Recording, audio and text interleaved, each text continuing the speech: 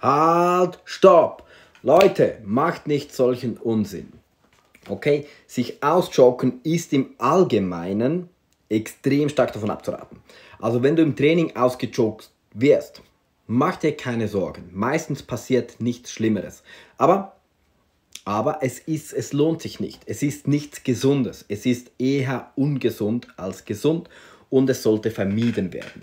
Jedes Mal, wenn du ohnmächtig wirst, basierend auf Asphyxiation oder basierend insgesamt auf Sauerstoffverlust im Gehirn, ist das ungesund. Gehirnzellen sterben ab, dein Gehirn braucht Zeit, sich zu regenerieren, kann das nur begrenzt zu einem gewissen Maß für eine gewisse Zeit.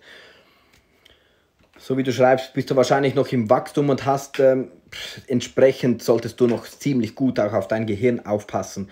Also es lohnt sich nicht. Es gibt hier nichts zu gewinnen und es gibt nur was zu verlieren. Im schlimmsten Falle kann es nämlich auch gesundheitsgefährlich sein.